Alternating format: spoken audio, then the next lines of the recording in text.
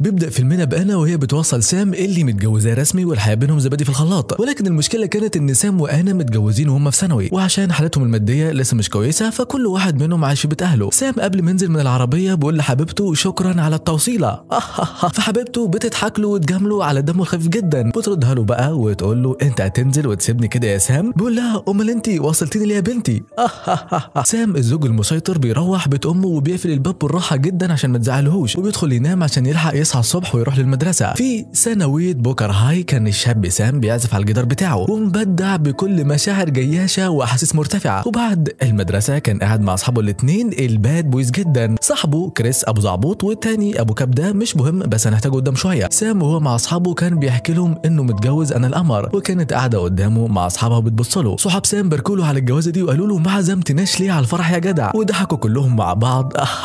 راح سام لحبيبته المكان اللي بتشتغل فيه. وبص فيها كده وقال لها هي دي البنت اللي أنا بحبها بالظبط. هذا هو ذوقي. أنا قالت له جاي عاوز إيه يا سام مش المفروض تكون في المدرسة دلوقتي؟ وبعدين أنا بشتغل وأنت لا. أعتقد إنك محتاج تشتغل أكتر من كده. وطبعا أنا كانت بتكلمه بكل حب وبتهزر معاه. مرت الأيام وبنعرف إن علاقة سام وأنا علاقة مثالية جدا والاثنين بيحبوا بعض بكل إخلاص. وواضح كمان إنهم بيعيشوا أيام سعيدة جدا وبيقضوا أوقات حلوة مع بعض. ولكن عزيزي المشاهد الحياة مش بتمشي بالشكل ده. ودايما هتلاقي حاجة تنغص عليك حياتك في أكتر اوقاتك سعادة وهو ده اللي حصل مع أنا وسام بالظبط. سام الشاب الماهر الشاطر الخارق اللي بيعرف يعزف وي skate ويلعب basketball كمان. حبيبته أنا جات له ذات يوم وهو عامل فيها مايكل جوردن. راح لها سلم عليها واتكلم معاها. وكل ده والكاميرا جايباهم من بعيد ومفيش صوت ومش سامعين هما بيقولوا إيه. ولكن عزيزي المشاهد أنت لو محنك هتعرف هي قالت له إيه في المشهد ده. هستناك تشاركني في التعليقات. وعلى ما تجاوب دوسوا like واشتركوا في القناة. أكيد بكل تأكيد عزيزي المشاهد أنا كانت بتقول له أنا حامل يا سام لأن دي ردة فعل شاب اتدبس تدبيسة ما يعلم بها إلا ربنا. بعد المدرسة سام راح يسكت مع أصحابه ويفش غله وبعد ما خلصوا صحابه قالوا له مش هتيجي معانا نتسكعوا سويا؟ قال لهم لا أنا بقى عندي مسؤوليات دلوقتي وحاجات لازم أهتم بيها يا الأولاد. يلا سلام عليكم. وكان واضح على سام إنه تايه ومحتار ومش عارف يعمل إيه. سام راح لانا شغله وطلب يكلمها. قال لها أنا بنتي أنا أنت متأكدة من موضوع إنك حامل ده؟ رحت للدكتور يعني وكشفتي وكده. فأنا قلت له عملت اختبار ثلاث مرات ورحت الاربع دكاترة وربنا وكلهم أكدوا لي الخبر. والمشكلة هنا إن أنا كانت شايفة جوزها الصغير اللي المفروض بيحبها. مش حابب يخلف منها ومتضايق من موضوع حملها. عشان كده سابته ومشيت وهي حاسة إنها اتخدعت فيه. ولكن تاني يوم كانوا مع بعض في مستشفى عشان يقرروا هيعملوا إيه في المولود. وسام وهو بيستناها كان شايف ولد صغير بيلعب قدامه. فحس بالخجل من نفسه وطلع يستنى أنا بره في العربية. أنا جت وقالت له إحنا قدامنا حلين. أول حل هو إننا نكمل ونربي البيبي. وتاني حل هو إننا نتخلص منه. ولكن ده هيكلفنا 800 دولار بحالهم. والمشكلة الأكبر بقى هنا إن سام اتلهف وقال لها ماشي أنا نجمع 800 دولار ونتخلص من الطفل. وهنا أنا قالت له طيب افرض أنا عاوزه أحتفظ بيه. سام بيروح لمحل آلات موسيقية وإحنا لسه ما عرفناش إجابته على سؤال أنا. بيتكلم مع صاحب المحل وبيقول له في الواقع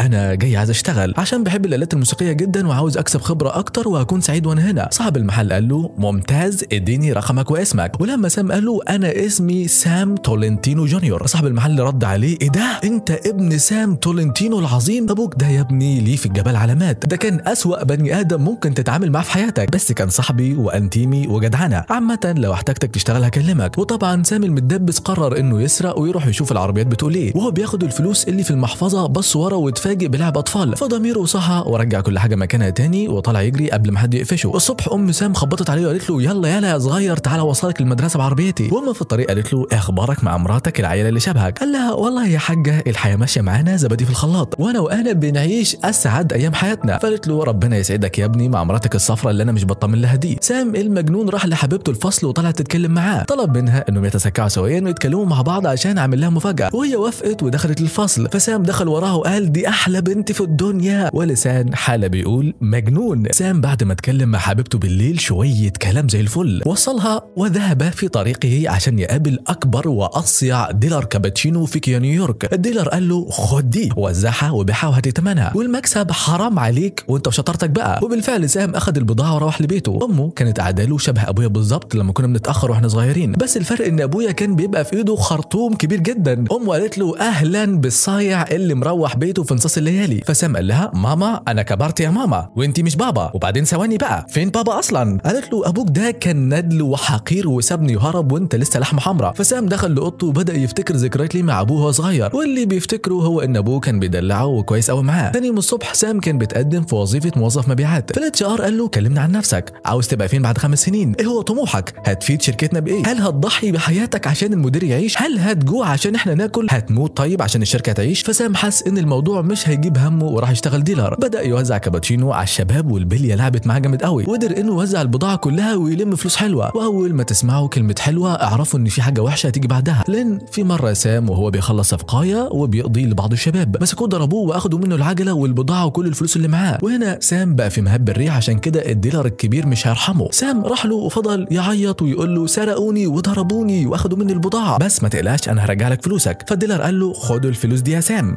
أنت عجبتني يا ولد وعجبتني شجاعتك. وخد البضاعة دي كمان وخلي معاك المسدس عشان المرة الجاية تدافع عن نفسك. بس افتكر إنك دلوقتي مديون لي بالضعف ولو ما رجعتليش الكابتشينو وديني ما أنا سايبك. سام لما روح امه قالت له إيه ده؟ من عورك كده أنا هبلغ البوليس. فسام قال لها لا مفيش داعي. وهاتي لي كيس تلج أمه جابت له التلج واتكلمت معاه. قالت له أنت كده ماشي في السكة اللي ماشى فيها أبوك. أبوك كان بيتعارك كل شوية ويروح لي متخرشم. أبوك كان بيعمل حاجات وحشة وكان شخص سيء. أبوك ده حسبي الله ونعم الوكيل في مكان ما راح. فسام قفش من كلامها على أبوه وسابها ودخل اوضته وخبى البضاعة في مكان غير متوقع تماما ألا وهو تحت المرتبة. يا سلام أما مكان سري صحيح سام كان حاسس بكسرة نفسه وحسرة. وفضل يفتكر مواقف تاني من طفولته وهو مع أبوه. وفي أعماقه كان حاسس إن أبوه ده أكيد شخص كويس. وكمان افتكر إن أبوه كان يعرف ست تانية غير أمه. الصبح راح لأنا قال لها بنتي أنا أنا جبت الفلوس أهو وكله زي الفل. يلا بينا بقى نتخلص من الجنين. وبنعرف إن سام اختار إنه يتخلص من ابنه. والمشكلة هنا إنه كان فرحان. وطبعا ده شيء ما يسعدش أنا نهائيا. إنه إزاي فرحان عشان هيعرضها لخطر زي كده؟ وكمان إنه مش حابب يخلف منها. أنا قالت له إيه رأيك لو نحتفظ بابننا ونكون عيلة؟ فسام قفش وقال لها لأ انت خدي الفلوس دي واشكريني. أنا كانت هتمشي وبعدين رميت له الفلوس وقالت له فلوسك إيه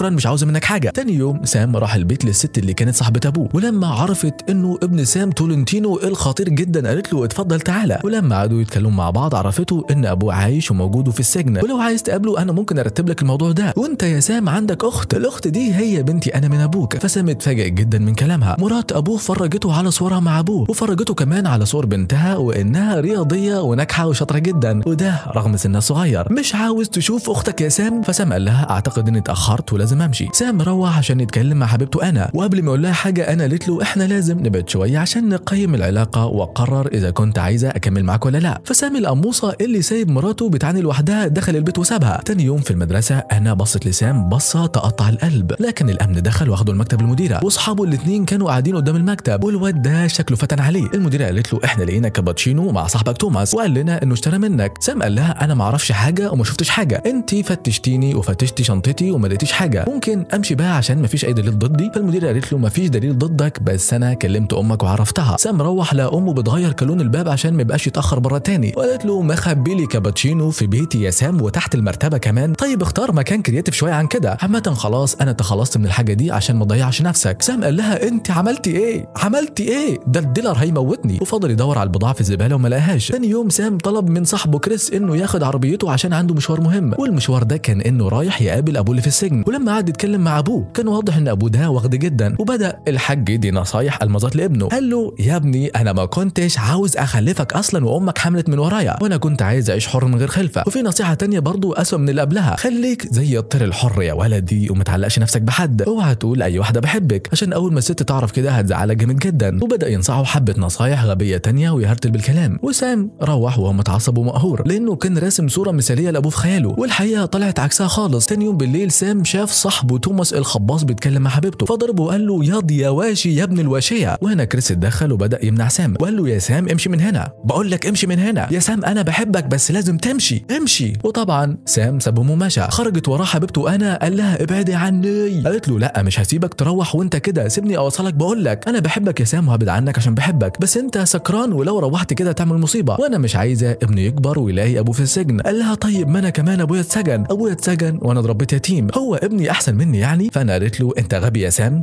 أنا ماشيه سام وهو ماشي مروح قابل ال bad guys اللي سرقوه وأخدوا منه البضاعة والعجلة. قال له ولا أنا فاكركم كويس. انزل يلا من على العجلة بتاعتي. اركع ياض منك ليه على ركبك. ويلا بقى يا حالتها طلع كل اللي معاكم. سام بتاع زمان خلاص انتهى. ومن دلوقتي سام تاني خالص. هعد لحد ثلاثة ويلا اجروا قدامي. وأخيرا سام قدر ياخد حقه وعجلته. سام روح البيت وقعد يتكلم مع أمه ولكن كراجل ناضج المرة دي. قال لها ماما أنا كنت غلطان في حقك. أنا رحت زرت أبويا في السجن واكتشفت إنك معاكي حق في كل كلمة قلتيها عنه. وأنا ظلمتك وندمان وعمري ما هسامح نفسي. فامه حضنته وقالت له ما تقولش كده يا سام. أنت ابن حبيبي وهتفضل أهم حاجة في حياتي. وبقت تحكي له عن ذكريات الطفولة. وإنها من ساعة ما حملت فيه ما بقتش عاوزة حاجة من الدنيا غير سعادته. قررت إنها توهب له حياته وتربيه كويس. وتعوضه عن حنان الأب اللي سابه ما خلع. وأنا بحبك يا سام وعمري ما هزعل منك. سام راح لحبيبته أنا وقال لها أنا جيت عشان أعتذر عن كوني واخدي أنا. أنا قالت له أنت حتى ما فكرتش واديت لنفسك فرصة تشوف ابنك. قال لها معاكي حق. قالت له إنت ندل قال لها معاكي حق. أنت نموذج حقير. صح.